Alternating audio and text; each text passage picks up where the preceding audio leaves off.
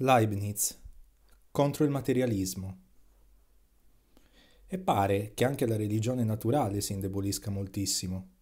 Molti rendono corporee le anime, altri materializzano lo stesso Dio.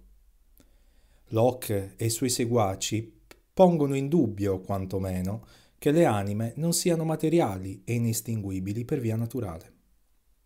Newton dice che lo spazio è l'organo di cui Dio si serve per sentire le cose, ma se egli ha bisogno di qualche mezzo per sentirle, vuol dire che esse non dipendono interamente da lui e non sono opera sua.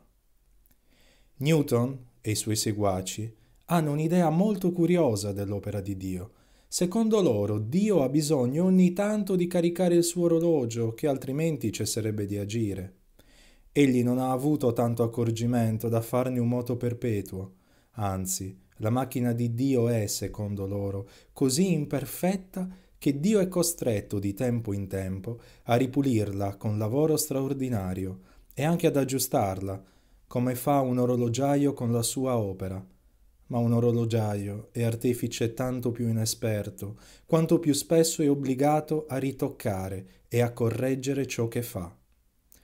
Secondo la mia opinione, nel mondo persistono sempre la stessa forza e la stessa energia, che soltanto passa di materia in materia, conformemente alle leggi della natura e al bell'ordine prestabilito. E ritengo che, quando Dio fa dei miracoli, non li fa per sostentare i bisogni della natura, ma quelli della grazia. Giudicare diversamente sarebbe avere un'idea molto bassa della saggezza e della potenza di Dio.